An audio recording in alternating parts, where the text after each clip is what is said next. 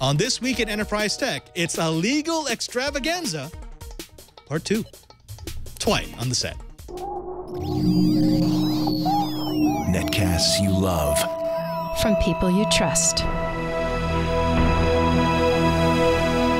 This is Twit.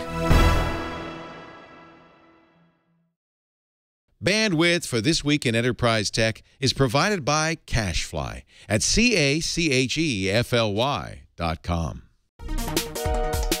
This is TWiET.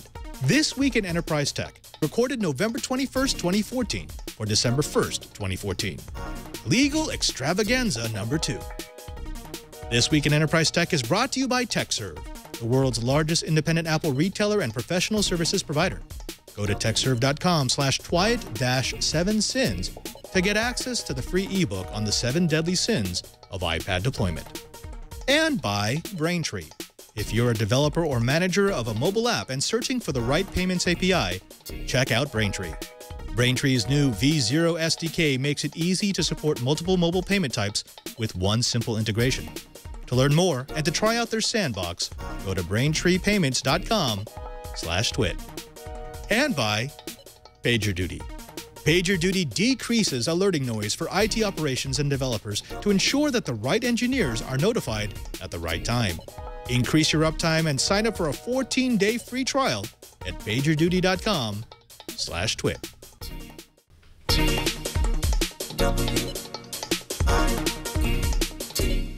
Welcome to TWiET This Week in Enterprise Tech. It's the show dedicated to the enterprise professional, the IT pro, and the geek who just wants to know how the world is connected. I'm your host, Father Robert Ballecer, the digital Jesuit, your guide to all things in the enterprise. But I'm not alone in guiding you. I'm joined by my fantastic co-host, starting with the currently frozen in time, Mr. Brian Chee, the director of the Advanced Network Computing Laboratory in Honolulu, Hawaii, who on his frozen video is looking rather pensive today. Brian, what are you thinking about?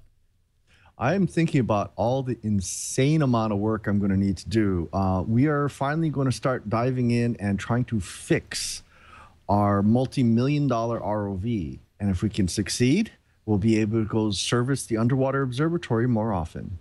Fantastic. And a co-host who's not currently frozen in carbonite, Mr. Curtis Franklin, the from Information Week Radio. It's good to see you, sir, in motion video.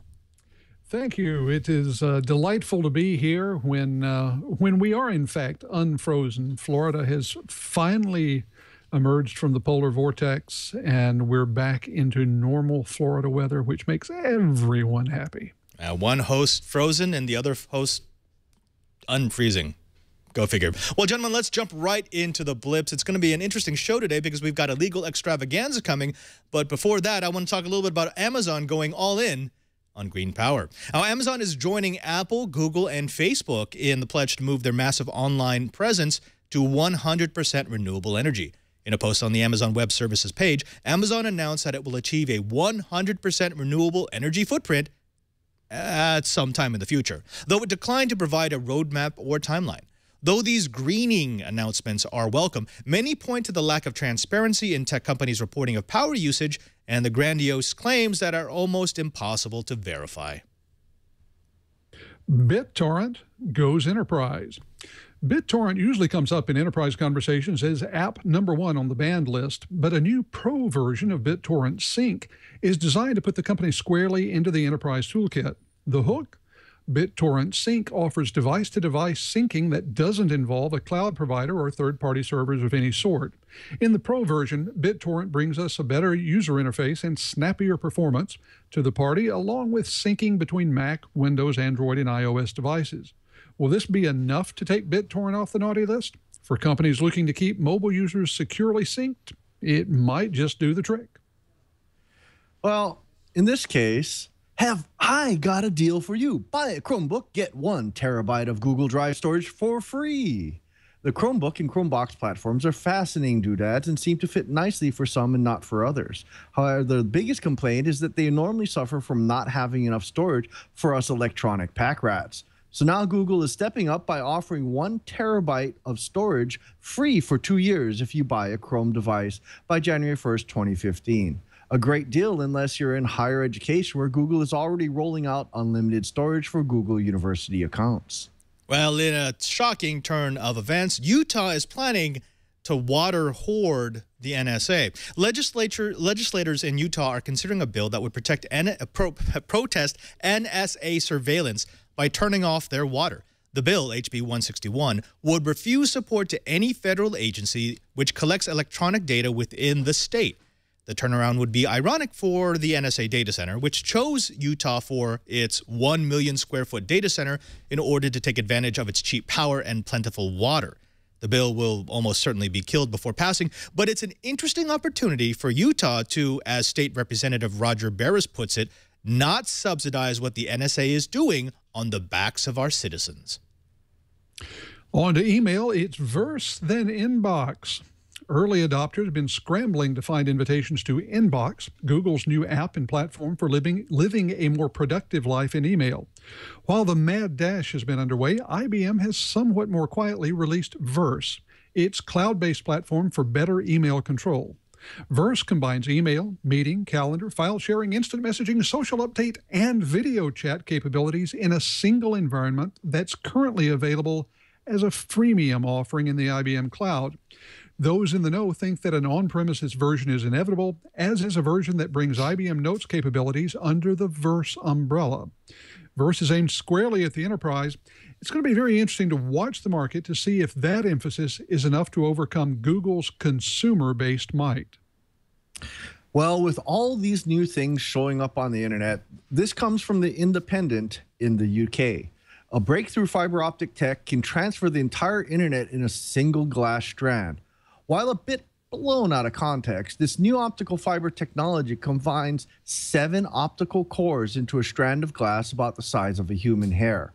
Traditional optical fiber has but a single core of pure glass to transmit light signals, but by putting seven cores into a single strand, you could optically multiplex over those seven cores to not just multiply the amount of data sent by seven, but exponentially raise it to the power of seven. The researchers in the US and Netherlands are claiming 253 terabits per second as an estimated transmission rate possible with this new glass. Uh, we don't usually cover luxury cruising ships on TWiET, but we're making an exception to talk about the Royal Caribbean's Quantum of the Seas because the onboard IT rivals that of many SMBs. Touted as a smart ship, the Quantum of the Seas includes satellite-driven Wi-Fi that can deliver a total of 600 megabits per second at a time that most cruise ships struggle to deliver dial-up speeds. In addition, passengers, their baggage, and even their phones can be tracked throughout the ship to automatically give them access to ship services, pay for items, and direct them to events or muster stations. Two red EPIC cameras on the bridge of the ship transmit 5K video to 80-inch 4K displays through the onboard IP voice video system so passengers inside cabins can have a virtual balcony to see what the captain sees throughout the voyage. And of course, what high-tech cruise ship would be complete without a robotic bartender? That's uh, definitely one ship that I want to jump into. Now, when we come back, we're going to kick off our legal extravaganza. That's right. It's a crossover between TWiET and This Week in Law. It's uh, going to get legal. But before that, let's go ahead and talk about the first sponsor of this episode of This Week in Enterprise Tech, and it's Tekserve. Now, we all know that the iPad has made a big splash. It's not just BYOD anymore. It's a force multiplier. Businesses keep coming up with creative ways to service their customers, to increase productivity among employees, and make more money with the same resources, all by using that force multiplier, all by using that iPad. For example, the Institute of Culinary Education equips students, faculty, and chefs with the iPad, empowering them to do away with heavy and unwieldy textbooks and streamlining the learning process. A major cable services provider in the Northeast gave its field technicians, who, if you think about it, are the public face of the company, iPads that have been configured to provide better customer service. Uh, and just uh, and retail companies have enhanced their in-store customer experience by using the iPad not just as a point of sale device, but also as a spot where customers can learn about sales, special offers, and upcoming events. These clients and more have turned to Tekserve, the country's largest Apple reseller that sells, supports, and manages the largest iPad deployments in the world to manage their iPad projects. Now, if you're considering adding iPads to your business, why not ensure the project's success with an experienced partner? You owe it to yourself. Tekserve assists businesses of all sizes to deploy Apple solutions, as well as solutions from Avid, Adobe, and more throughout the United States. No matter if you've started deploying iPads already or are just getting started. Tekserve can help. And right now, Tekserve is offering a complimentary download just for TWiET listeners who are deploying iPads or who are interested in learning more about doing so. Go to tekserve.com slash TWiET dash seven sins to get access to the seven deadly sins of iPad deployment and see the common pitfalls that throw companies for a loop during their iPad projects. Avoid their mistake. This complimentary download is available right now just for TWiET listeners at T-E-K-S-E-R-V-E dot com slash TWiET dash seven sins. And we thank Tekserve for their support of This Week in Enterprise Tech. We welcome back to the show. It's been a couple of months since we've had Denise Howell and Evan Brown, the hosts of This Week in Law here on the Twit TV network. Uh, I, folks, I am so happy to have you here because every once in a while, we actually want to get some legal experts in to talk about all the legal stories that we cover in the enterprise. So, uh, welcome to the show. Thank you, Padre. It's great to be back. Now, uh, I think we're just going to run through some of the stories that we've been touching in the last couple of episodes since the last legal extravaganza, because we want to get your opinion, your legal view on what these actually mean. The first one, we're going to take it from the blips. This, this HB 161 that uh, Utah legislators are looking at right now to deny the NSA water rights so that they wouldn't be able to run the data center anymore. First of all, I, I have to say, from the bottom of my heart, it brings a big chuckle to think that they're, you know, they're basically saying, oh yeah, you can have your data center. We're just not going to give you any power or water. So have fun with that. Um, uh, let, let, me open up to you first, Denise. This this uh, harkens back to my days of high school debate where you talked about federal versus state rights. This is a weird thing where you've got a federal agency that went through a, a really long process to choose its location and it has a right to be there. But then you've got a state that also, according to the state constitution, has the right to allocate water and power. And technically, if they could pass the bill, you would have a great conflict of states versus federal rights. What, what is this? It sounds like a Supreme Court case to me, is what this is. um, yeah, I, I, this is a toughie. Um, certainly, uh, the state does have the ability to allocate resources, but does it have the ability ability to tell the federal government it's not entitled to resources that a private business might be able to use? Uh, that one kind of blows my mind. So um, I, I really don't know what's going to happen with this. It's fascinating that Utah is taking this approach. It seems like maybe some, you know, some sort of savvy state legislative bargaining for federal accommodations and, uh, you know, other privileges. But uh, I really don't know. Yeah, it, it, it, does definitely feel like someone's playing a political card here. Cheebert, let me mm-hmm. throw it to you because uh, some some people who may be watching this who have not ever created a mass, massive data center may not understand what's the significance of shutting off water. Uh, this is a 1 million square foot data center. We've talked about it quite a bit on, on TWiET, about all the tech that goes into it. Why is it such a big deal if Utah decides to, to not, not just shut off, but decrease the amount of water that, uh, that the data center might get? Yeah, it's it's simple. When you're trying to remove that much heat, you need to basically run water over the heat exchangers on the outside. So if they reduce the amount of water, you reduce the amount of cooling, and you reduce the amount of computers that NSA can actually run. Right, right. You know, Curtis, it's you know we understand why this has become controversial. I mean, when they started building this data center, nobody knew about anything about NSA wiretapping, about uh, uh, how much invasion of privacy was was going on, and it's become a little bit of a poison pill. Nobody wants to admit that their state is supporting the infrastructure that is being used to spy on Americans. Let's be honest. I mean, they say they don't, but they are.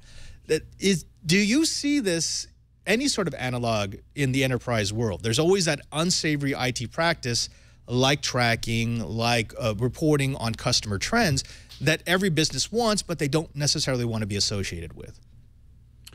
You know, there, there are some analogs, and, and some of them are, as you say, based on what a company is doing. Uh, for example, I don't think you would find very many large data centers uh, sited around the country that would go public with just how much of their business might be dependent on porn servers. Uh, that's just not the sort of thing that most communities would be thrilled to have around. Uh, with that said, I think it's interesting the ground on which this battle is being fought because not just out west, all over the country, but particularly in the American West, water is politics. Uh, we've seen it in all kinds of different arenas, and it's being used here. Um, you know, it, we're, we're seeing water battles all over. The states of Florida and Georgia uh, have a case going to, I believe, the Supreme Court over water right now. So you're seeing these these things being dealt with more and more often, and it's not just the typical battles. How many jobs can you bring? How much tax revenue will you ultimately supply to state coffers? It really is getting to be over issues of content and the work type. And that's a new arena for most of commercial IT. Uh, uh, Evan, I want to go over to you because uh, Curtis brings up a very interesting point. Uh, he, he jokingly referred to, you know, getting rid of data centers full of porn, but that's actually a real concern. This this seems to be a bill that was pushed as a snowball's chance of hell of actually making it through. But the the logic is sound, which is does a state have the right to say we don't want that in our state? I mean, if you're going to run a data center that does gambling, that does porn, that does anything we object to, we have the right to cut off your power or your utilities because we control the utilities. It, it and then suddenly it becomes more than just about spying. It becomes about well, how how can you how can you regulate what goes on the servers that might be located within your legal jurisdiction? Mm-hmm. Well, I mean, I think it's pretty easy to make this much more complicated than what it's ever going to be in reality. Look, nothing's going to happen here. This bill is probably not going to pass. Even if it did, I think it Utah's policy of trying to do what it's doing or doing what it's trying to do here would not go very far at all. Um, because what, what, we have here is a situation where we've got the federal government um, allocating space, having acquired space in whatever way it did to put this data center here. And, and Utah is not going to be able to, to cut off the, the water supply in this particular situation. It wouldn't matter if it was for, um, uh, I mean, well, with the federal government, it's going to be much harder for, to cut off the water supply than if it were private enterprise. You know, a porn company opening up a data center there or opening a casino or what have you, online gambling data center or, what, or what have you here. With the federal government, you know, you got to remember that that there's the there's the spheres of, of federal and state influence, and the Constitution sort of strikes the balance between those things here. And there's this idea that comes from uh, all the way back in the early part of the 20th century called the Winters Doctrine that allows the the federal government to to reserve certain amounts of water. It's implied that the federal government is setting aside certain amounts of water when it's going to allocate land to do something. This came out of the idea of Indian reservations, and it's been extended to military bases and, and, and things like that. So, I mean, it's crazy to think that Utah has the power to to cut off water here. And I, I don't read the bill as even saying that that's what it's going to do anyway. It says it's just going to not lend support to the the provision of water. If the federal government really wants to have water in that place, it will get water to that place, whether it be through the application of this the Winters doctrine or if it, by eminent domain. I mean, this is this is an issue that affects interstate commerce. So the the federal government would be perfectly within its rights to run a pipe from whatever rivers close by, run it up from the Colorado River, where where have you, to this data center. There's not going to be anything that the state of Utah can do. This is all just um, stuff that's that that's clearly political, and uh, it takes us off on a bunch of primrose paths to to talk about things that really will never be of any any consequence in the situation. Yeah, it really does sound like posturing. I mean, you got to remember that Orrin Hatch was the state senator who who really he lobbied. In fact, they call this a win for Utah because they're getting a lot of cash from the federal government to have this 1 million square foot data center in their state.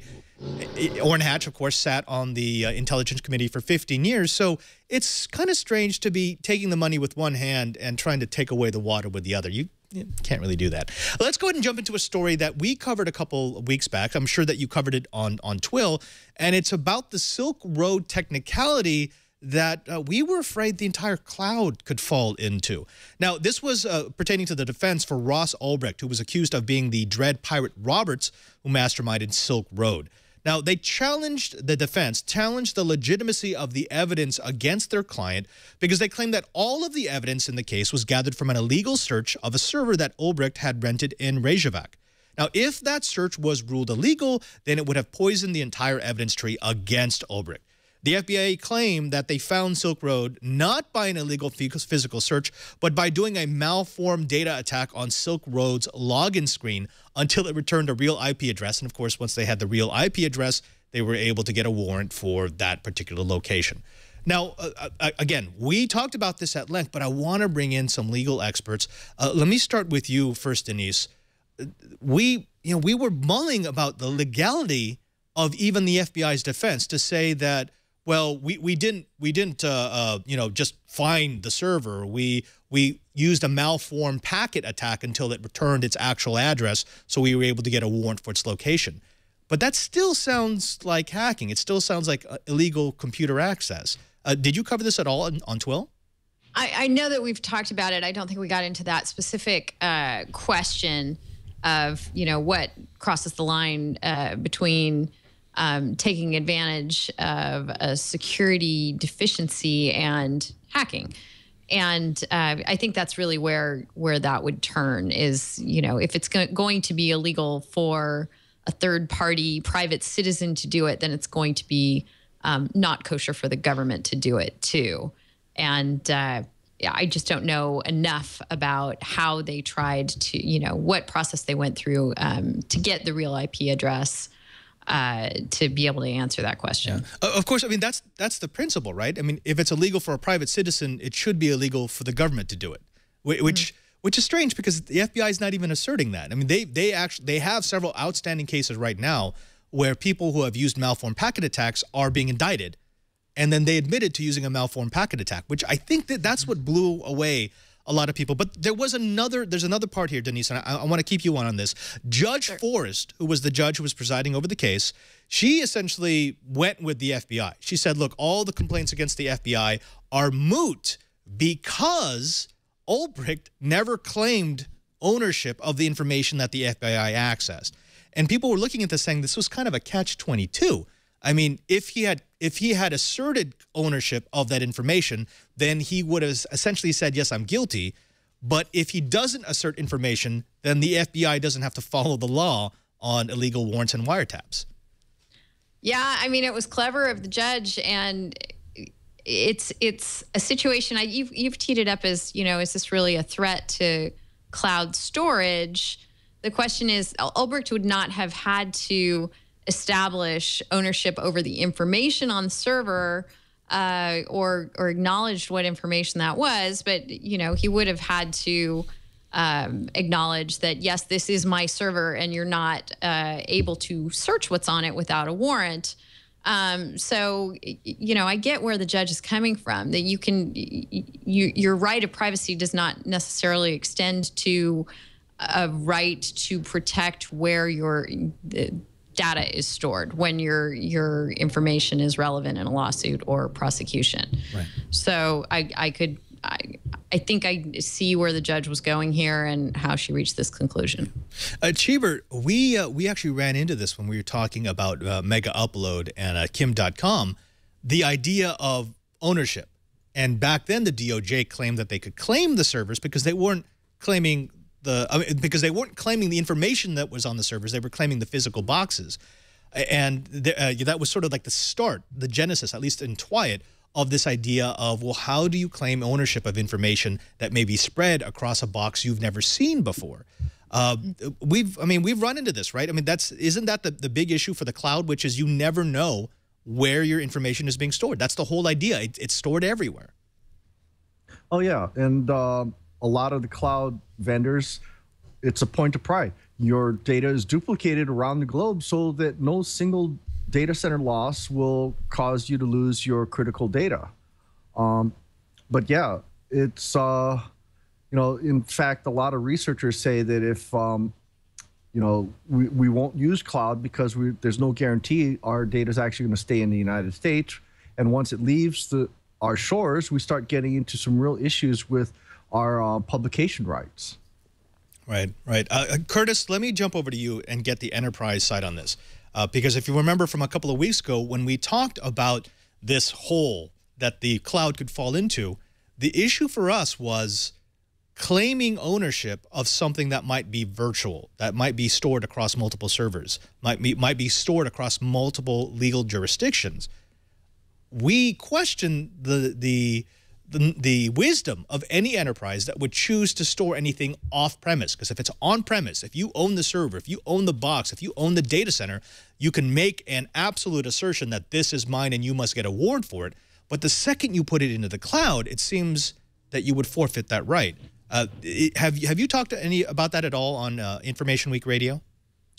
You know, it's interesting because this week we were running a uh, course in the Information Week University with uh, the gentleman who is the CIO of the city of Asheville, North Carolina. Uh, the class was on cloud management, and, and this did come up. Uh, it's something that we've talked about before. It seems like, from the enterprise standpoint, the regulations and, and the laws are, are pretty clear when it comes to ownership of a physical server. And we have a fair amount of law and regulation in place when it comes to data in transit. Uh, but data, just just data, sitting somewhere, uh, is something that that is much less clearly defined in terms of the way the regulations and the laws deal with it. And so, from that standpoint, you're absolutely right. What we don't have right now is, is a clear ownership framework for data that sits somewhere on servers that are owned by someone else. And, and let's remember that in not a few of these cases, the provider you contract with might or might not own the servers that the data is sitting on. You know, they may themselves contract with a provider. I'm thinking about all of the cloud service providers who buy space and processing time, for example, on AWS uh, or S3. You know, th- there's a lot of that going on. So it really is an issue, and it's really something that enterprise consumers have to take into account and pay serious attention to when it comes to any information, any data that could possibly fall under any regulatory scheme, which basically means for any but the most trivial data, you need to know exactly where it's sitting, and you're much better off if you are the owner of that box. Evan, uh, let me throw that to you because that, that to me that's fascinating.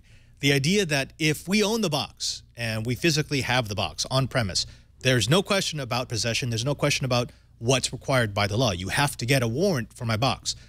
We actually do have a pretty good idea of the protections that should be provided to data that is in transit. I mean, we don't always follow it, but we, we, we understand that there's a reasonable expectation that when data is going from point A to point B, it should be protected. I think Curtis is absolutely right in that we seem to be falling into the zone where we don't really have a way for the law to address data that may be on a box or multiple boxes that I don't own in locations that I don't own uh, in formats that I have no control over. Uh, what what do you see in the law that's trying to catch up with that? I don't. I'm not so sure. There's anything that's I, I'm, I'm not sure there's there's as much of a problem here, Padre, as what you're trying to tee it up as. First of all, I don't think that the enterprise 99% of the time should be all that worried about the Fourth Amendment and whether its Fourth Amendment rights are going to be violated because the real privacy and data protection issues that the enterprise needs to think about are just those things that fall under uh, the nature of breach of contract or uh, what if you know there's unauthorized access to the data by someone in the data center or a hacker or, or what have you. It's not whether the government's going to come. Unless you're Kim Dotcom most business people are not Kim Dotcom let's let's take that as a given. So i mean the real concern to the enterprise with privacy and where data may reside seems to be other things rather than the fourth amendment. And if we're talking about this in the context of a fourth amendment case i just want to make that that clarification. Another thing uh, is where I think we we we may be going a little bit askew on our thinking here is characterizing it as being related or tied in some important way to the ownership of the data or ownership of the of the box or what have you. And I don't think that that's uh, what the judge here in the Ross Ulbricht case was uh, concerned about, whether or not he owned that server or owned the information on it. All it was the the, the where the Fourth Amendment analysis rose and it fell was on this issue of whether he had a personal privacy interest in that. And the question, and the, the, judge actually used this language. You know, she said that if he had signed a declaration that talked about if he had leased space on the server mm-hmm. or had mm. some control or dominion over it, there's no, there, you don't see anything in, in the judge's opinion about ownership being the the sine qua non of the Fourth Amendment uh, protection here. So, and for the same reason, I don't think that we should get upset uh, about that in any other context, whether we're talking about the enterprise's Fourth Amendment concern or the enterprise's uh, general concerns about liability for having its data on a data center sitting somewhere in the United States, sitting somewhere in Europe, sitting somewhere in, in Asia, or what have you. It's all that, uh, what what matters is the uh, you know the, the the right and ability to claim uh, some kind of control or dominion o- o- over that. I'm reminded of the federal rules of civil procedure that talk about the production of documents and discovery, and the language there is possession, custody, or control. So that is what triggers a legal obligation for somebody to turn over documents in litigation. I think the same framework for thinking about one's legal rights to data and the protections that would come from uh, the Fourth Amendment or the obligations that may arise uh, from having that data under uh, whatever legal framework you're talking about would be sort of like, you know, either you possess it or it's in your custody, which may or may not be really in your possession. But more importantly, you know, whether it's in your control, whether you have the legal right and the obligation to be the one to direct whether that whether that data is there and whether it's deleted or, or, or whatever becomes of it. Okay, I, I get that. I understand what you're saying. But then I think of something like, for example, the, the case in South Carolina with the woman who was able to successfully argue uh, in in a case that uh, in which she gained access to the email of her husband and was able to prove that he was having an affair. Uh, the the state supreme court agreed with her, saying that the emails were abandoned because they had been looked at but left on the server for more than 60 days. And I, I look at a decision like that and I say, well, okay, well. It, is that something the enterprise has to worry about? If you've got states that are saying essentially you can abandon data even if it is still in a in a construct, a Gmail service that you claim ownership over, then I have to start rethinking about putting my data anywhere where it could be accessed without my consent. It's a pretty narrow scope of, of, of, situations that fall under that six month thing. That's a provision in the Stored Communications Act that talks about when the government can rightfully access stored communications and as differentiated from information, you know, metadata ab- about the communication. So it's, pr- it's, a pretty limited set of circumstances. I mean, ordinary uh, data on a server sitting somewhere, uh, whether it's subject to um, being turned over to the government uh, is not going to depend on whether ordinarily, unless it's you know subject to this specific thing in the, in the, Stored Communications Act. Ordinarily, that's not going to depend on how long it's how long it's been there. Um, I think that the the protections, if any, sitting uh, to, that would uh, apply to the quote unquote owner of the data somewhere uh, else would, would would be independent of, of, of, that period of time. So you know that I, I, see where you're coming from with that that South Carolina case, but that's a that was a pretty narrow. Uh, a pretty specific situation there that had to deal with uh, the Stored Communications Act, which incidentally gives quite a bit of protection to the privacy of emails versus uh, a lesser uh, application of, of privacy interests to the metadata about right. uh, about those communications. Right. We'll be right back, but first, let's go ahead and take a pause for our sponsor, Braintree. This week in Enterprise Tech is brought to you by Braintree. It's code for easy online payments. If you're a developer or product manager searching for the right mobile payments API, check out Braintree. Their V0 SDK makes it easy to accept multiple mobile payment types in less than 10 minutes with one 10 line snippet of code. Braintree supports all payment types your customers might want to use, including Apple Pay, PayPal, Bitcoin, Venmo, all major credit cards and debit cards, plus 130 global currencies. If you're a developer, then you're going to wonder how you did without their V0 SDK. The code supports Android, iOS, and JavaScript clients, SDKs in seven different languages, including .NET, Node.js, Java, Perl, PHP, Python, and Ruby. It's elegant code with clear documentation, only 10 lines of in-app code, and you're ready to run. Oh, Braintree has the best in class customer service. If you have a question or problem, with Braintree, you'll always get a live person to talk to. And if you're struggling, Braintree will actually handle the integration for you and walk you through the process. Of course, Braintree knows that it's not enough to have easy to integrate code and top notch customer service. They get that they're offering you financial services and that their security is your security. That's why they use tokens to secure payment data so credit card information is never passed on to merchant servers. They're known for their back-end security and merchant protection. Braintree has you covered. Braintree is the fastest, easiest, and most secure way to accept payments, period.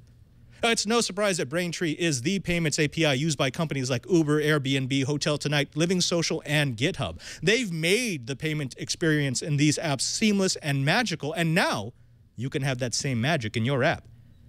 Braintree scaled with these companies from early stage startups to the successful companies that they are today. So you know that they can scale with your business too, from processing your first dollar to your billionth. No matter how a customer would like to pay, they can pay with Braintree. Uh, if you're searching for the right payments platform, check out the Braintree V0 SDK today at braintreepayments.com/twit. Review their documentation. It's simple and concise. Play around in their sandbox. Give Braintree a try with no commitment and test your integration before going into production. After you integrate Braintree, the first $50,000 in transactions are fee-free. That's braintreepayments.com slash twit. braintreepayments.com slash twit. And we thank Braintree for their support of This Week in Enterprise Tech. Uh, now, this next story, I, I, do want to give over to our TWiL folk because I believe you you just tackled it, and it's all about net neutrality. Mark Cuban, Fun with FOIA. Can you tell me a little bit about the legal developments behind net neutrality? We've been talking a lot about the politics. Now, tell me about the law.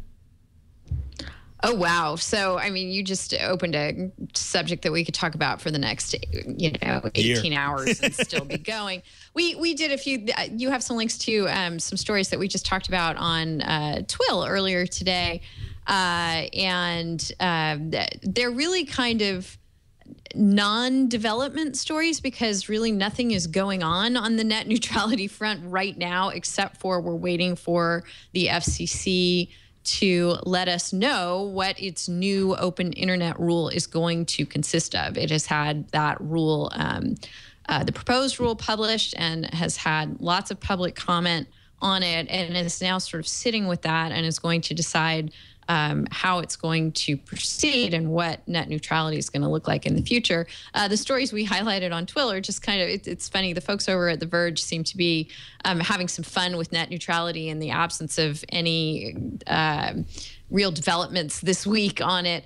Um, Adi Robertson over there did a really funny story on uh, picking up on a couple of tweets from Mark Cuban um, taking the line that net, seems to be taking the line that net neutrality would be over regulating in a way that um, Ayn Rand decried in some of her literature, and uh, she she uh, cobbled together an atlas unplugged where she um, cast different people in in fictional. Uh, roles, including Comcast as the, you know, obviously the bad guy corporation, and um, it's it's a pretty funny read.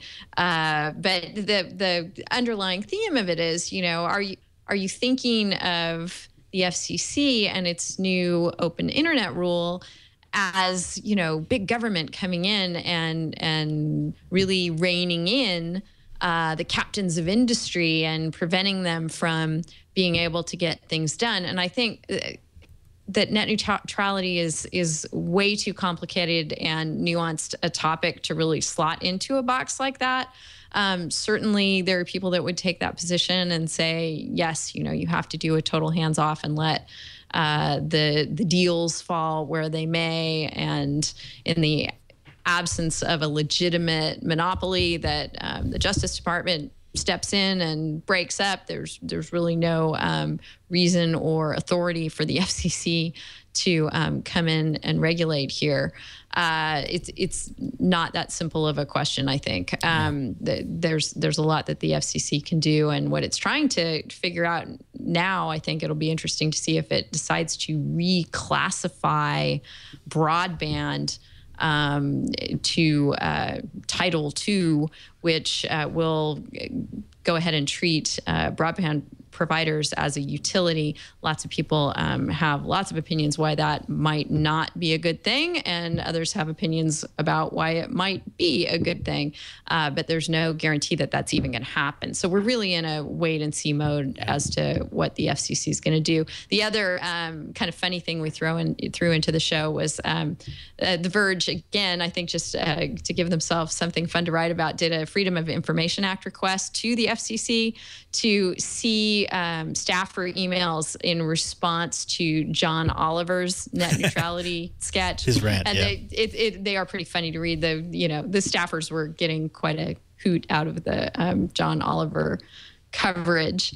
Uh, the substantive thing that we talked about um, had to do with U.S. Telecom uh, asking the FCC to consider the report of a couple of economists that if they do reclassify broadband services so that they can be more um, thoroughly or um, uh, regulated in a different way and, and, in a more intrusive way than the FCC now can.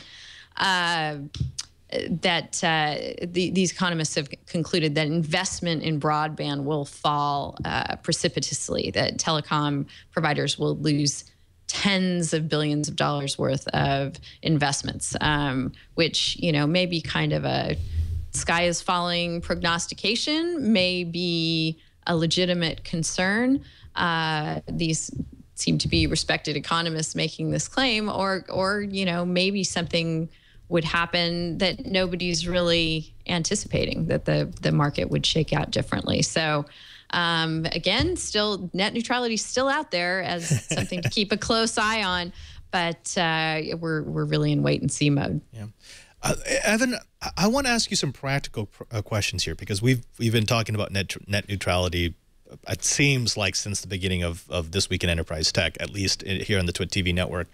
But let's say the FCC decided to go with some sort of reclassification, either a complete reclassification under Title II or that hybrid reclassification that, uh, that, that Chairman Tom Wheeler was was discussing. What's the process? I mean, what would they have to do in order to make this happen? Is it just a decision that they make? Does it have to go through Congress? Take, take me through the legal procedure for any sort of Title II uh, in, in, invocation. I don't know. I honestly don't know. I would have to ask a communications lawyer on that because it's a pretty Byzantine process, and I know that uh, you know there there has been this rulemaking process that's gone along so far, but as far as the rollout and the implementation of that goes, um, I don't know. I don't know how that would go. I know that it would be subject to review. What is it, Denise? It would be the Court of Appeals for the District of Columbia, right? It's not the federal circuit, right? Do you know, that's Denise, right. Where... It's the the DC circuit. Why yes. is that? Wait, so why is it the DC circuit and not the federal court? Well, it is uh, the well, federal they're both court. federal courts. Yeah, yeah. it is. It, there's uh, there's the, different the, circuits. Yeah. yeah. go ahead. Go ahead, Denise. The the federal circuit uh, does. Um, patent law and, and, that sort of thing. The DC Circuit is just the the standard uh, federal uh, appellate okay. court in that jurisdiction. Right. Yeah. So it's it is sort of a court that's I mean it's sort of unique, um, but because yeah. it's and it's often confused with the federal circuit, but it's the yeah. So, um, and so I, you know, I, I, just confess I don't know exactly how it would work out, and I know it's a, it's a complex process, but I do know that there, there, anything like that is is almost inevitable to get that review. So that's how it would make its way into the court system, and if the and if the Supreme Court ultimately were to to weigh in, it would be on this interest that is presented in the in the case uh, as to you know like whether the the FCC acted arbitrarily and capriciously in in, in reclassifying in the way that it did. So there are plenty of of avenues for it to, to be reviewed and make sure that it would pass muster under even a constitutional uh, thing. So. Yeah. All right. Well, let's go ahead and move on to the next story because uh, I know uh, we've got a hard out for Evan here in about uh, uh 15 or so minutes. Uh, there, there is one story that I want to tackle before the break. We covered this on TWiET about a month ago, and this was um, sort of a good news, bad news thing. It was Marriott being fined $600,000 for deauthorizing guests. Now, between 20, 2012 and 2014, the Gaylord Opryland Hotel and Convention Center in Nashville, Tennessee, used deauthorization attacks, that's a Wi-Fi technique to knock people off of a Wi-Fi network, to attack guests who were using wireless hotspots, their own wireless hotspots, especially with the, within the boots of the convention center. Now, the reason why they would do this is because they would offer house wireless for between 250 to $1,000 for the course of a convention. Now, they also said that they were doing it for management purposes. And, and actually, Cheebert and I and Curtis all have experience of this. When you turn on a hotspot inside of a convention center, all you're doing is adding to the noise floor. But the FCC decided that Marriott was in violation of Section 333 of the Communications Act, which states and I quote, no person shall willfully or maliciously interfere with or cause interference to any radio communication of any station licensed or authorized by or under this chapter or operated by the United States government. Now, Cheebert, uh, I, I, forget which side you're on, but um, yes, if they were doing this just to make people buy connections, that is definitely a D-bag move. However, there is a valid management complaint here, right? Because if you turn on your hotspot, you kill Wi Fi for everybody. Well, first off, I do want to point out one thing Wi Fi is in an unlicensed band. Mm-hmm. And I believe that does make a little difference. Also, I want to point out that the rental agreement for convention centers almost always include a clause on managing the network and only authorized um, communications device, internet devices. So, for someone to rent a booth in a major convention center, they have already agreed to, in in theory, not run anything that's going to interfere with the convention center facilities. So I don't think we've heard the last of this. Um, now, keep in mind, especially in the 2.4 gigahertz range, there's really only three non-overlapping channels. You know, one, six, and 11. Um, and most personal hotspots are in the 2.4 gigahertz range. So, what we're doing, what Marriott's doing, is protecting their infrastructure because they have a service level agreement to provide Wi-Fi to their customers, whereas the booth managers are just trying to you know, in my mind, get out of paying for a fee. And your numbers are actually a little low. 250 to $1,000 is for teeny tiny convention centers. For large convention centers and large conventions, uh, internet connections, a 100 meg internet connection can go up to $5,000 for a show. Right, right. Uh, Curtis, let me let me get you in on here because you've also experienced this. First of all, I never turn on my hotspot when I'm at a convention center because it's not going to work. It's I'm going to be using a cell system that's overloaded with a Wi-Fi system that's overloaded. And typically, what the more advanced users will do is we'll just use uh, 802, uh, 5 gigahertz wireless because that tends to work much better. But uh, you've you've heard people say, "Look, we just shut down 2.4 gigahertz, right?" Uh, and I, I actually had a conversation after our episode with one of the IT people for Marriott who anonymously said, look, this really was an IT management thing. And if the FCC is going to come in and tell us how we can and cannot manage our network, well, we just don't know what we're going to do. is not that a, a valid concern? Well, it's it's it might be valid, and I think what the FCC would say is that Marriott needs to find a different mechanism for dealing with its valid concern because you know looking at that the the statute that the, they point out to it doesn't say just licensed it says licensed or authorized. And these hotspots are authorized uses within the unlicensed 2.4 gig band. Mm-hmm. uh, the fcc has proven itself to be pretty darned unyielding over the years. In the us with some very, very specific exceptions, almost always for for government, uh, specifically military uses, you can't jam a radio signal. We just don't allow it. Uh, whether we're talking about in the Wi-Fi situations in a convention hall, or the handful of people who have uh, tried, for example, jamming cell phone signals in movie theaters. It simply isn't allowed. I don't think the FCC is trying to rule on the legitimacy of Marriott's concern. What they're saying is if they chose an unlawful way to address that concern. So, Marriott, if they do have a contractual relationship with all of these people that says you shall not do that, they're welcome to go around with sniffers, find unauthorized uh, users, and either tell them to shut down or charge them extra in accordance with the contract. What they can't do is interfere with the wireless signal. Yeah. Okay. Now, there's where I need to bring in my legal experts here because, uh, again, I think Marriott it was horrible for doing this, and I would probably do the whole IT vigilante thing if my convention center was trying to do something like that to me. But I, I want to point something out here. We're all talking about interference, and yes, jamming in any sense of the term, jamming the FCC could come down hard on you because you are not allowed to interfere with licensed or unlicensed spectrum if it's an, if it's going to an authorized device. However, the issue I had when we first brought up this story was Marriott's not actually jamming. They're not doing anything to the RF, and that's what the FCC has jurisdiction over. What they were doing was a deauthorization attack, which is which is above the wireless level. So it's not it's not playing with the RF. It's a legitimate command in in 802.11 management frames that says deauthorize this user and reauthorize him. That's that's actually a legitimate command. So it's not an attack, it's not a hack. It was a legitimate management request. And for me, it seems as if, and I want to throw this over to you, Denise, first. It seems as if the FCC was overstepping if it has nothing to do with RF energy.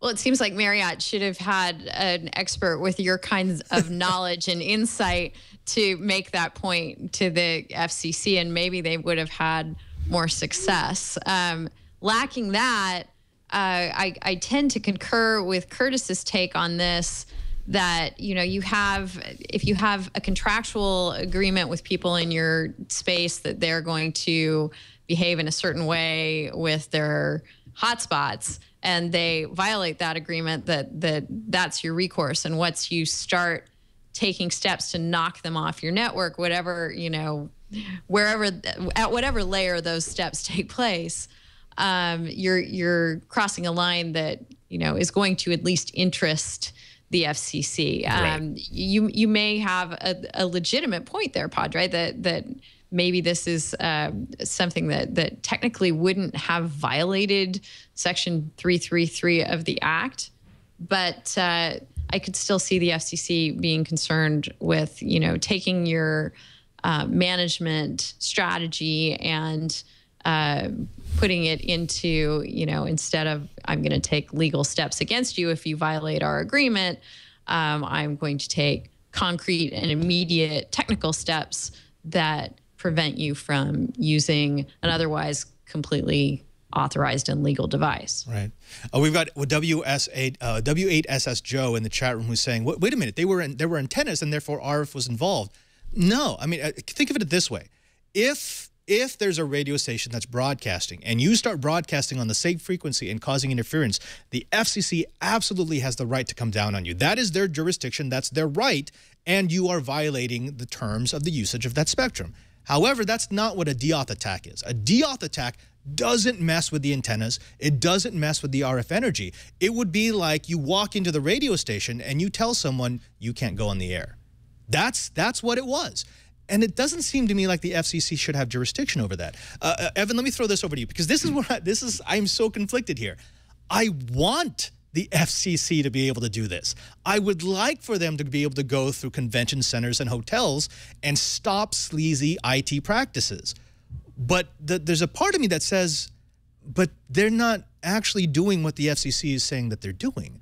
Um, mm you know, you find are you with me here it's like legal creep i, I want them to have this power but i don't know if they legally should have this power well I, probably you're overthinking it a little bit padre because you know that's that wouldn't be the first time that's what brilliant people do i mean i, I hear your your concern here with this uh, with with you know, the, with the, the, the assertion you're making that what they actually did here wouldn't fall within the scope of what's prohibited in, in within Section 333. And and to, to, to address this, I think if we look at the actual text of Section uh, 333, we do something that, that courts do.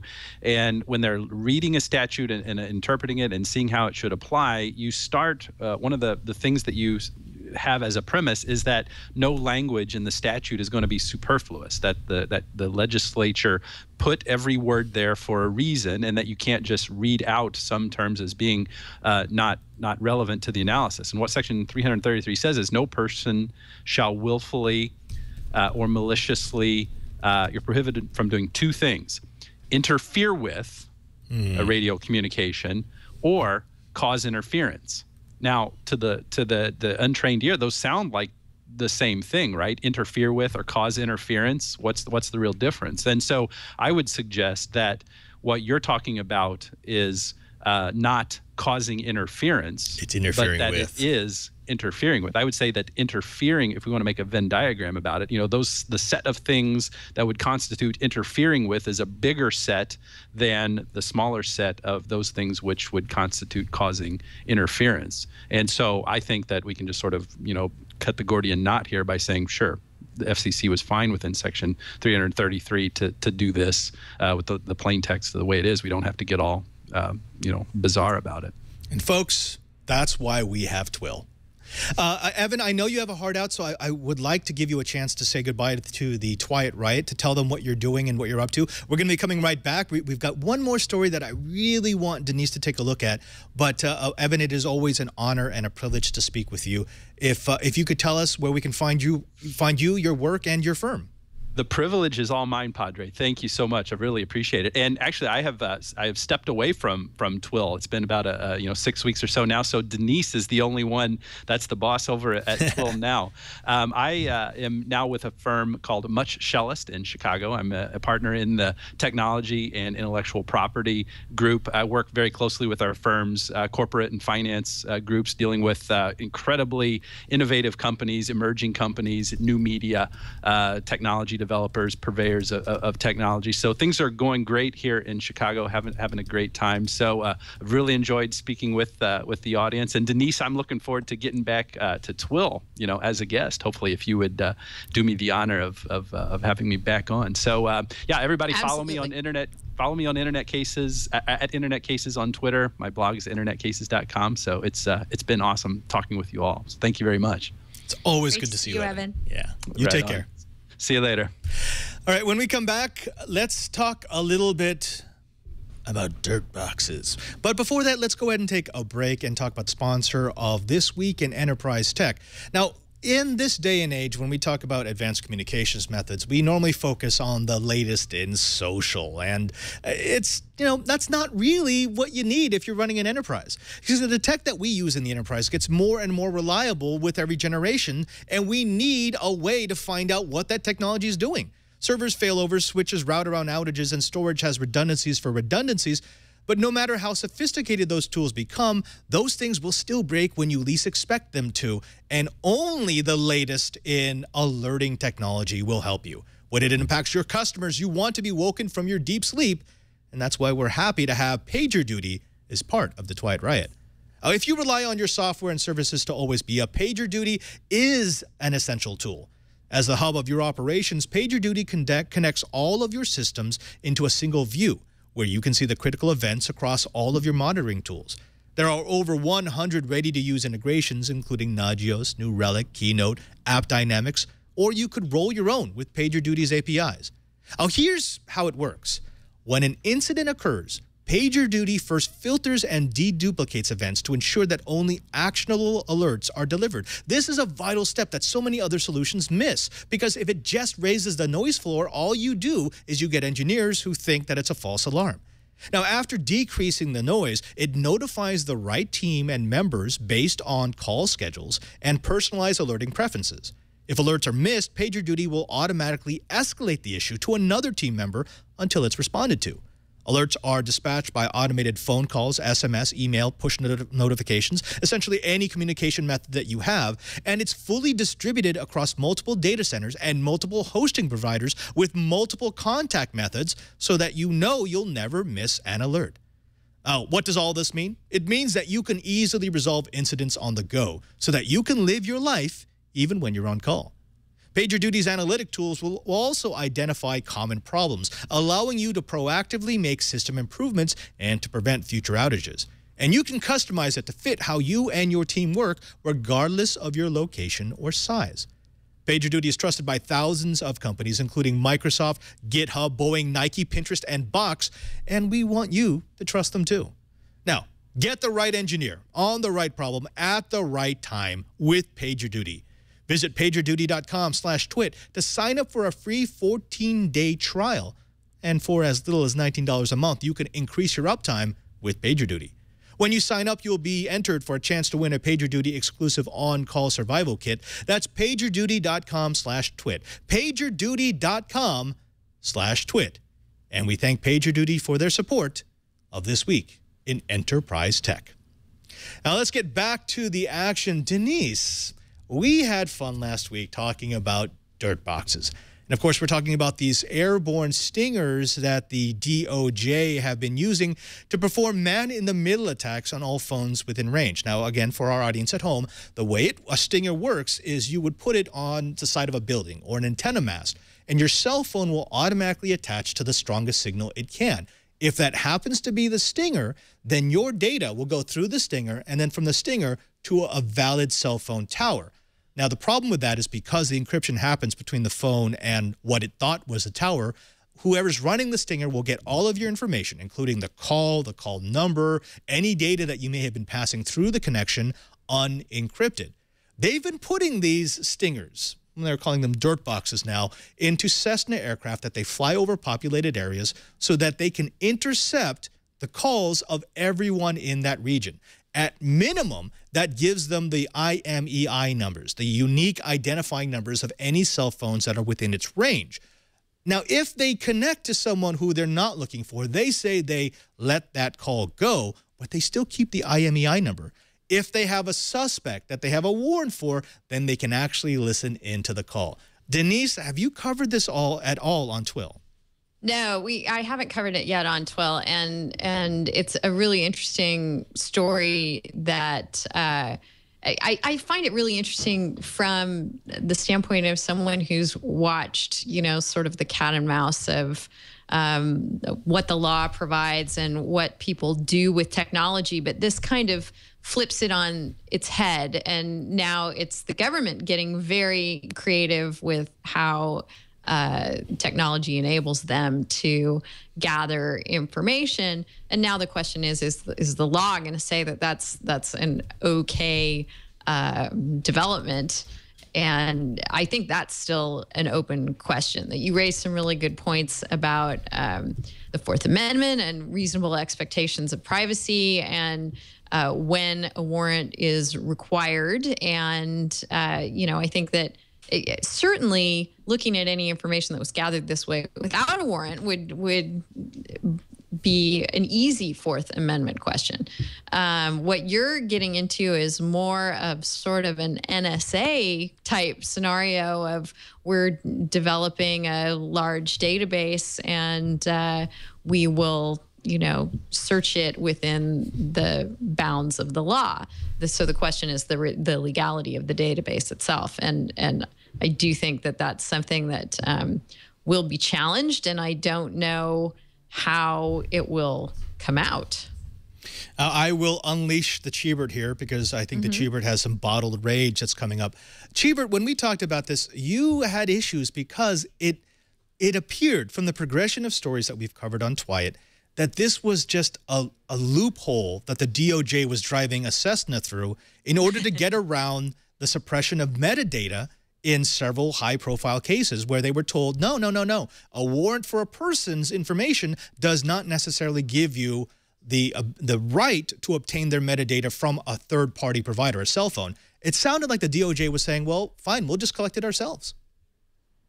Yeah, and um, I actually compared it to those um, Cal, Cal transportation passes, you know, for bridges and toll roads mm -hmm. and things mm-hmm. like that. Um, when something is sent out into the air, is is it still considered private? I think that's the basis of my argument. And um, so, if they're only collecting IMEI information, eh, I'm I'm kind of not too terribly upset about that. So you're, okay. You're okay with the metadata. If they, I mean, if they have, if they have a date stamp that this IMEI was in this area at this time on this date, that seems fair game because that's being broadcast right. out into the air.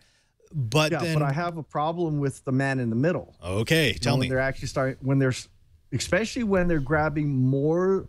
When, when you've gone into something as active as a man in the middle attack, where you're setting up the uh, encryption keys uh, for the conversation between the stinger and the cell phone, and then forwarding it on, one, you're now, you know, breaking in, you're actively opening up the communication. And in my mind, that should require a warrant. Mm.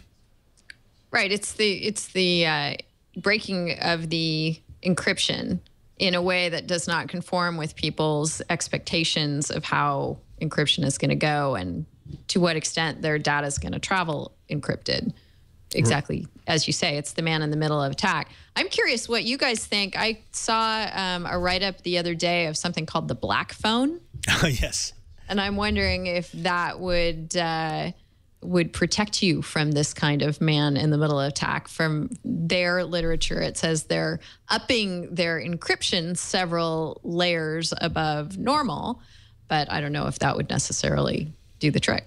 There, there's one thing on the black phone that would work. The black mm -hmm. phone can offer true end to end. So the problem with a standard cell phone is it's encrypted, but it's encrypted to the tower. So between the phone and the tower you have encryption. So someone just listening into the, the conversation won't be able to, to make anything out of it. But if the tower is owned, if the tower is being used to attack you, then there is no encryption past that tower. So they have the unencrypted data. What the black phone can do is they actually have a service that will do what's called end-to-end. It will go from the phone to a secure server on the other side and everything in between is encrypted. So even if there's a stinger, it won't be it will be able to decrypt the basic uh, GSM encryption, but it will not be able to break the added layer of black phone encryption. Uh, mm. So that would help. And there's there's many privacy experts who are saying that's really the only way that's gonna it's gonna work.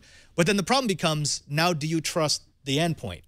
Is, can, can you trust that the endpoint is actually not taking your unencrypted data and, and doing something with it that would allow someone else to spoof it?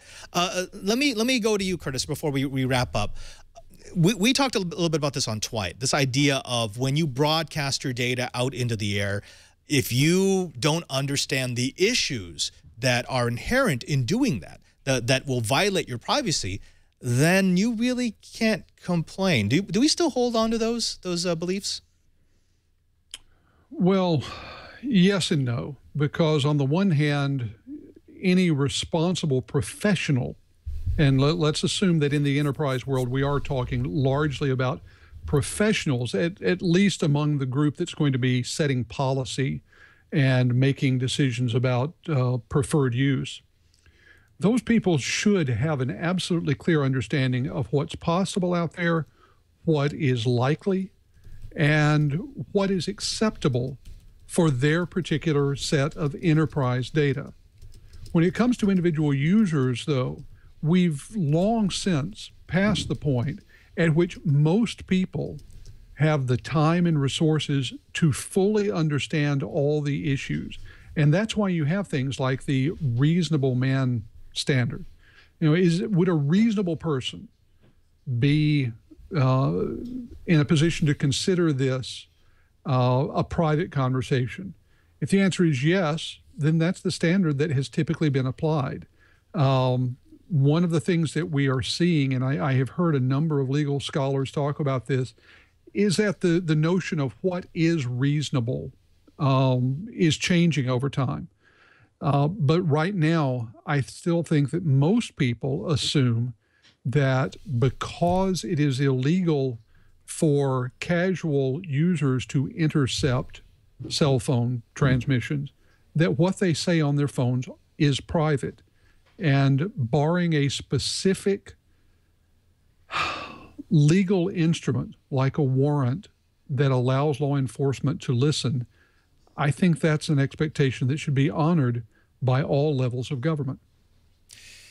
Well, on that note, I'm afraid we're going to have to call this episode of This Week in Enterprise Tech. This this has been a lot of fun. We, uh, and again, we're going to do this again. We're going to have another legal extravaganza because, you know, I think without a legal professional in the conversation every once in a while, we, I, especially I, let my speculation run wild. It's always nice to have the voice of reason. I, I want to thank you, Denise, and of course, Evan, for being our voice of reason, for coming on This Week in Enterprise Tech, especially right after doing TWiL. Uh, could you please tell the members of the Twilight Right where they can find you, find your show, and uh, find what you're doing throughout the week? Uh, well, you can find the show at twit.tv slash twil. Uh, you can find me on Twitter. I'm D Howell there, and uh, the the show has a Facebook and uh, Google Plus page, and we'd love it if you'd uh, jump in there if uh, you enjoy more of conversations about the legal aspects of technology, because that's what we do every week on TWiL, and we love doing it. Uh, we're going to be dark next week for Thanksgiving, but uh, the week after that, we're going to do an all drone law show. So um, I know that uh, you're into drones, Padre. I'm assuming uh, your listeners are at least um, personally interested in them and potentially uh, professionally interested in them as well, since they are um, becoming such a part of the way people would like to do business. But uh, it's becoming difficult to figure out exactly how you can incorporate them and uh, use them legally. So we're going to talk about that. And uh, we just love uh, talking about this sort of stuff. So, yeah, I'd love to come back on whenever you'd like one of the smartest shows on the internet, folks. You got to check out This Week in Law. Denise Howell, again, we'll have you back. So good to see you. And I'll be watching your drone special. Thank you. I also want to thank my co-host, starting with Mr. Curtis Franklin. Curtis, what's going on at Enterprise at Information Week Radio? Padre, we're heading towards the end of the year with our uh, our series of this Information Week.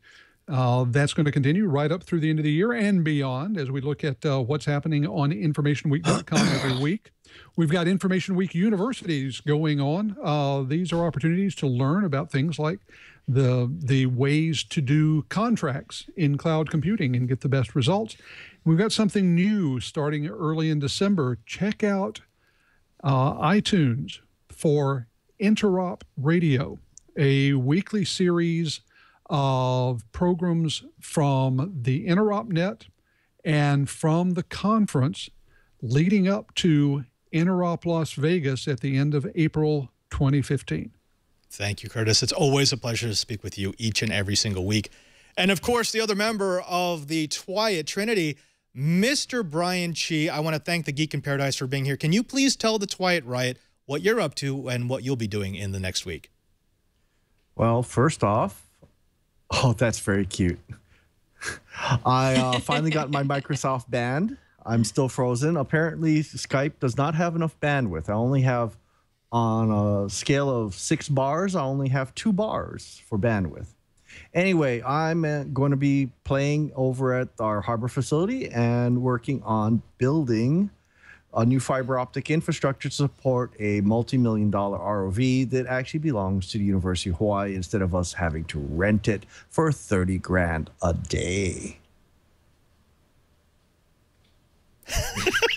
Thank you, Cheebert. Gentlemen, it is fantastic to have you on. It is a pleasure each and every single week to be with you to talk about enterprise tech.